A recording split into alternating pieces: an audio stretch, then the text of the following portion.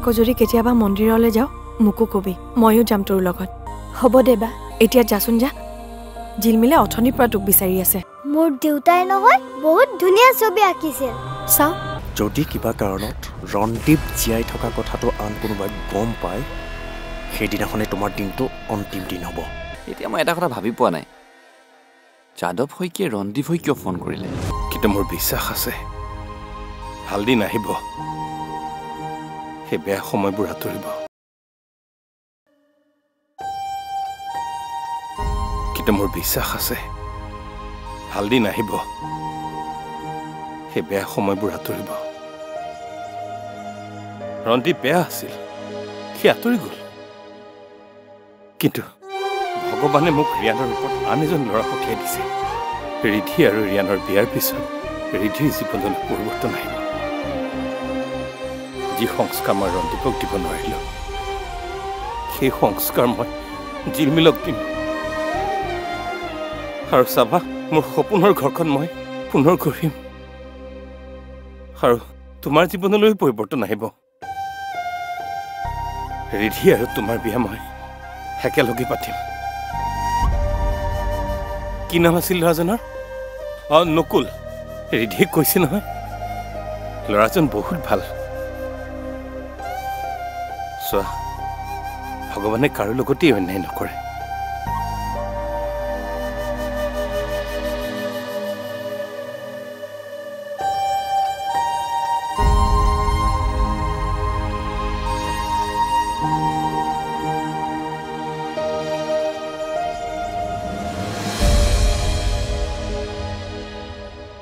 তোক কথা এটা কম কম বুলি ভাবি আছোঁ। সুযোগেই পোৱা নাই। কি কথা অ? কাৰোবাৰ প্ৰেমত পৰিলি নেকি? কোন সেইজনী সৌভাগ্যৱান ছোৱালী যিয়ে তোক লুটি পুতি খাব? এ নাই অ' ছোৱালীৰ কথা নহয়। মই ভাবিছোঁ মই গাঁৱলৈ গুচি যাম নেকি? এইখিনি সময়ত নাযাওঁ। এইখিনি সময়ত তোক মোৰ দৰকাৰ আছে। কিন্তু এবাৰ ৰন্দীপ উভতি অহাৰ পিছত মই চাগে গাঁৱলৈ যাম। আমাৰ ঘৰৰ সকলো মাটি বন্ধকত আছে? সেইবোৰ ময়ে মুক্ত কৰিব লাগিব। দেউতাই মৰাৰ আগত কান্দি কান্দি কৈ থৈ গৈছিল। তোক মই একো দিব নোৱাৰিলোঁ। ঘৰৰ মাটি সকলো বন্ধকত আছে। যদি পাৰ সেইবোৰ মুক্ত কৰিবি। দেউতাৰ অন্তিম ইচ্ছা ময়ে পূৰণ কৰিব লাগিব। আকৌ উভতি নাহ নেকি? নেজানো। ইমান সোনকালে এইবোৰ উভতাই অনা সহজ নহ'ব। পইচাৰ দৰকাৰ হ'ব। সময় লাগিব আহোঁতে।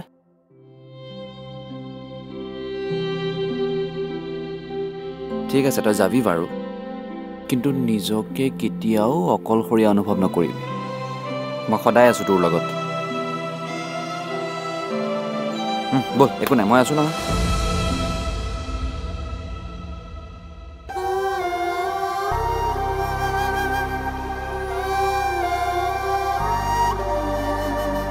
চা পাঞ্চালী মই কোৱা প্ৰতিটো কথাই তই শুনিবলৈ বাধ্য নহয়। মই সদায় নাথাকোঁ নহয় তোৰ লগত।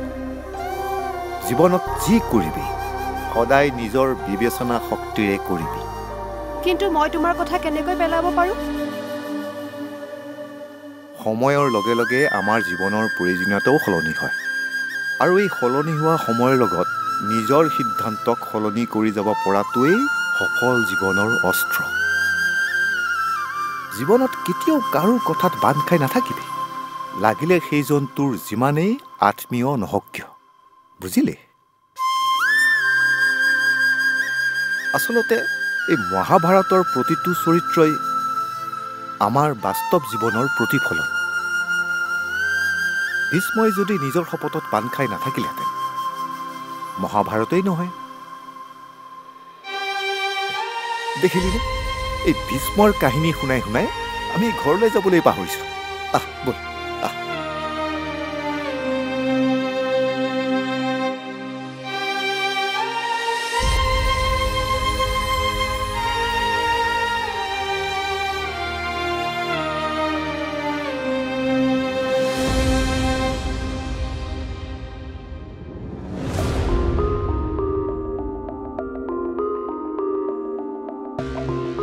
ৰিয়ান ৰিয়ান ৰখ না প্লিজ প্লিজ ৰখ না ৰিয়ান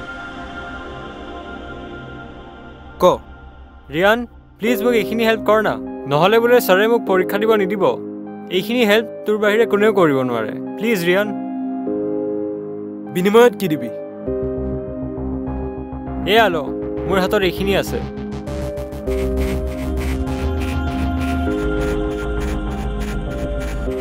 ব'ল।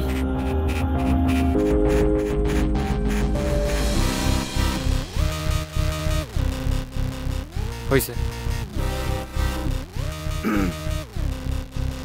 হেল্ল'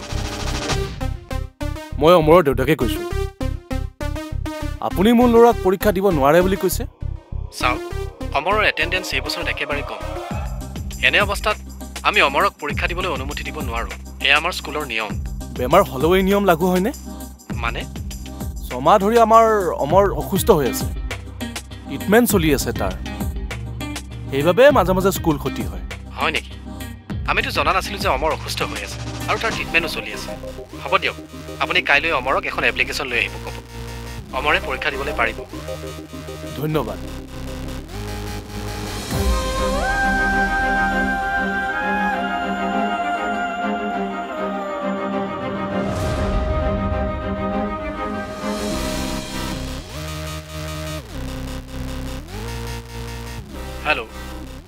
হেল্ল' ছাৰ মই বিজিতৰ দেউতাক হয় কওকচোন। মানে কাইলৈ তাৰ ককাকৰ শ্ৰাদ্ধ। সেইবাবে মই স্কুললৈ নপঠিয়াওঁ। আপুনি আকৌ কিয় স্কুললৈ অহা নাই বুলি গালি নাপাৰিব? ঠিক আছে হ'ব। কোনো কথা নাই। তাক কেৱল এখন এপ্লিকেশ্যন দি পঠিয়াই দিব। হ'ব বাৰু। মই এখন এপ্লিকেশ্যন দি পেলাই তাক পঠিয়াই দিম। ঠিক আছে। ধন্যবাদ।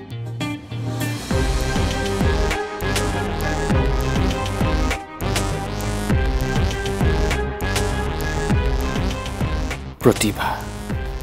মানুহৰ ভিতৰত প্ৰতিভাৰ কেনেকৈ জন্ম হয়? বহুতে কয় প্ৰতিভা মানুহে জন্মগতভাৱে লগত লৈ আহে কিন্তু এয়া সঁচা নহয়। কিছুমান প্ৰতিভা পৰিস্থিতিয়েও গঢ় দিয়ে। আমি আমাৰ দুৰ্বলতা ঢাকিবলৈ চেষ্টা কৰোঁ। এই চেষ্টাই এক নতুন প্ৰতিভাৰ জন্ম দিয়ে। অৰ্জুনৰ পৰা ৰিয়ানলৈ এই যাত্ৰাত বহুত প্ৰতিভাৰ জন্ম হ'ল।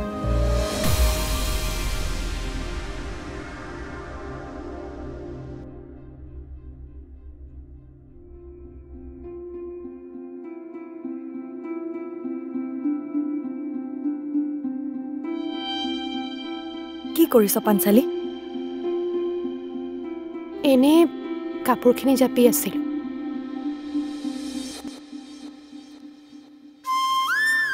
অনবৰতেনো কিয় কাম কৰি থাকিব লাগে? অলপ ৰেষ্টটো ল'বিচোন। একেবাৰে দেউতাৰ দৰে হৈ গৈছ তয়ো এনি বহি থাকিবই নোৱাৰ।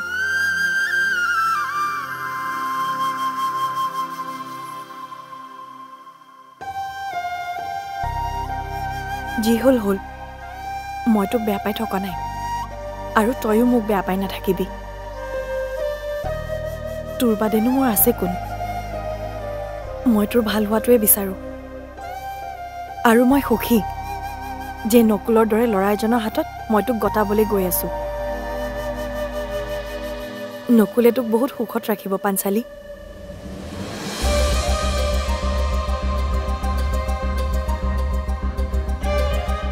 বা? মই নকুলৰ লগত বিয়া নহওঁ।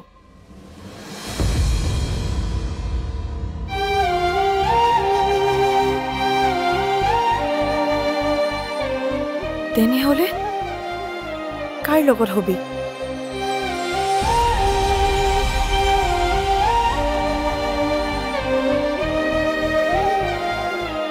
সেয়া সময়ত গম পাবি।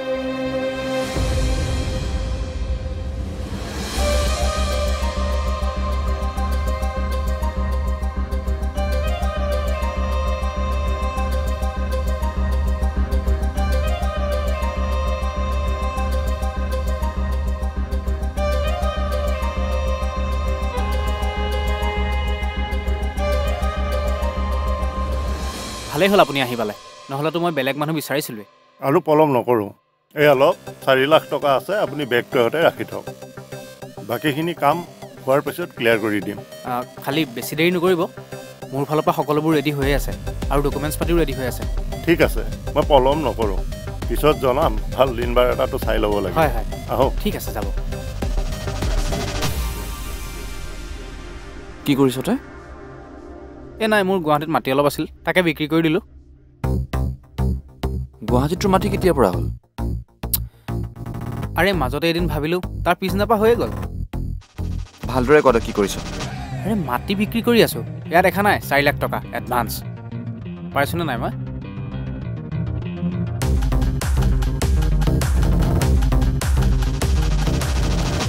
এতিয়া মানে মই অলপ হাই লেভেলৰ ঠগবাজ বুজিলি? যি মাটি এতিয়া মোৰ নামত নায়েই এতিয়া মই সেই মাটি বিক্ৰী কৰি আছোঁ। বহুত হ'ল আৰু ৰামবাইন অইলৰ বিজনেছ এতিয়া লাখত খেলিম বুজিছ লাখত। আপোনাক দিয়া বেগটোত মোৰ চাবিকোচা থাকি গ'ল নেকি চাওকচোন?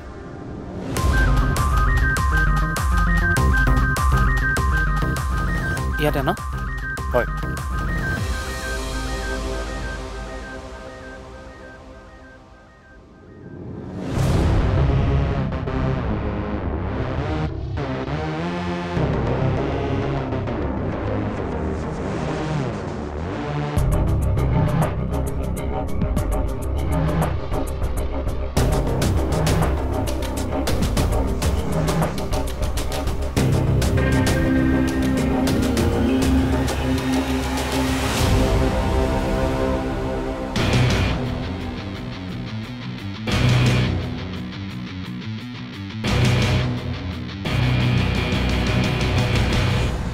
সকলো ৰেডিনে ৰেডি মাত্ৰ অলপমান সাৱধান হ'ব। তাত দুটা বকাসুৰ আছে। বাকী সকলো মেনেজ কৰি থৈছোঁ মই। ইয়াৰ পৰা কিমান দূৰ হ'ব? অলপ দূৰ আছে। পাহাৰৰ একেবাৰে ওপৰত ৰখা হৈছে। গাড়ী মটৰ নাযায় খোজকাঢ়ি যাব লাগিব।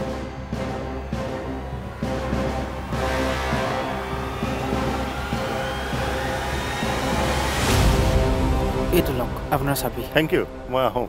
ৰ'ব। এয়া লওক আপোনাৰ পইচা। ৰিয়ান কি কৰিছ তই? আপুনি মূৰ্খ নেকি? এনেকৈ মাটি কিনিব আহিছে যে? ৰিয়ান ইয়াক দেখিলে লাগে নেকি মাটি মালিকী? হা? কিয় এনেদৰে বুৰ্বকামি কৰিছে? মাটি এডোখৰ কিনাৰ আগত ভালদৰে খা খবৰ কৰিব নোৱাৰে। ডকুমেণ্ট এখন ক্লিয়াৰ আছে। আপুনি ইয়াৰ কথা বিশ্বাস কৰিব নালাগে এইটো দিয়ক আৰু যাওক। ঐ দে।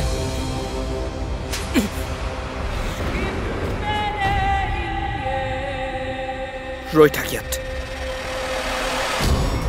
আজিকালি ডকুমেণ্টছ বনোৱা একো টান কাম নহয়। যাওক আগতে জানি লওক মাটিখিনি কাৰ নামত আছে। আপুনি জানেনে আপোনালোকৰ দৰে বুৰ্বক মানুহবোৰৰ বাবে দেশৰ উন্নতি নাই? কাম এটা কৰাৰ আগত ভালদৰে চালে যাই নাচায়। পাছত কপালক দুখ দিয়ে। আৰে যাওক কি চাই আছে? যাওক আকৌ। এইবিলাক মানুহ একদম বুৰ্বক। হা কি হ'ল?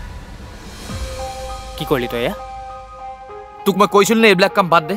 তেনেহ'লে মই কি কৰিব লাগে হা? কি কৰিব লাগে?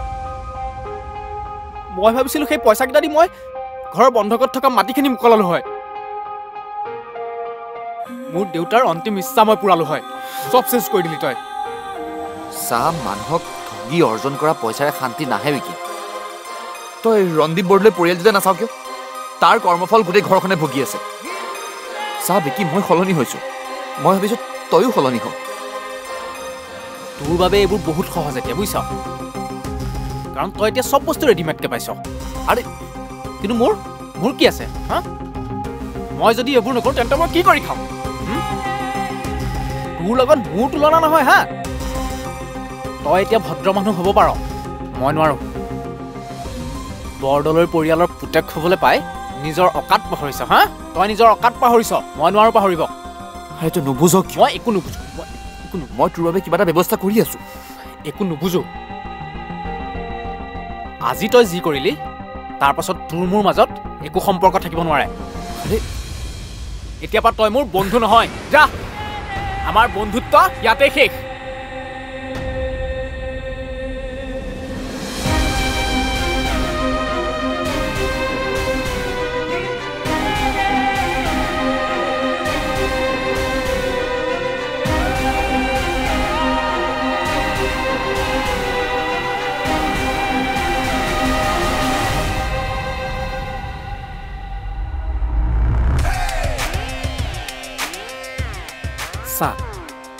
কথা ঘূৰাই পকাই মই নকওঁ। মই গাঁৱৰ ল'ৰা খাটি বস্তু খাই ডাঙৰ হোৱা ল'ৰা। তহঁতৰ নিচিনা কিনা ভেজাল বস্তু খাই ডাঙৰ হোৱা ল'ৰা মই নকওঁ।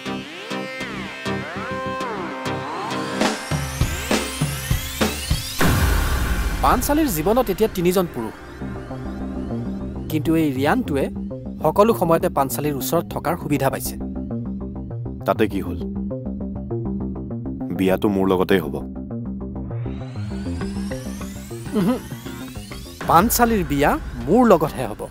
তাত মোৰ কোনো সন্দেহ নাই। কিন্তু তোৰ কি হ'ব? সেই ৰিয়ানটোতো গুণ্ডা মানুহ। প্ৰয়োজনত সি তোৰ ওপৰত হাতো উঠাব পাৰে। তিনিদিন অপেক্ষা কৰ।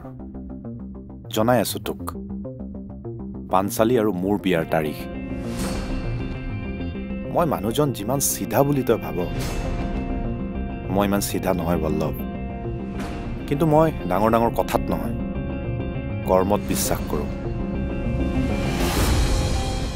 তই চাই থাক মই কি কৰোঁ।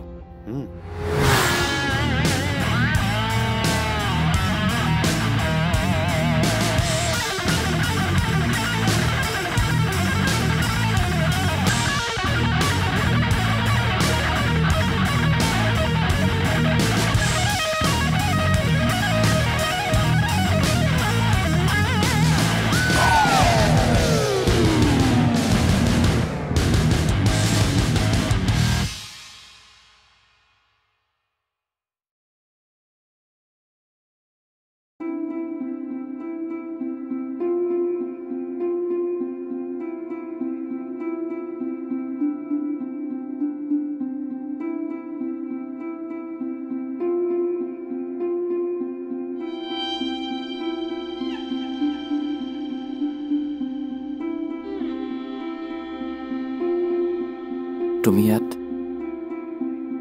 আপোনাকে বিচাৰি আছিলোঁ। কিবা কথা আছিল নেকি? মই আৰু দুখ কৰি নাথাকোঁ।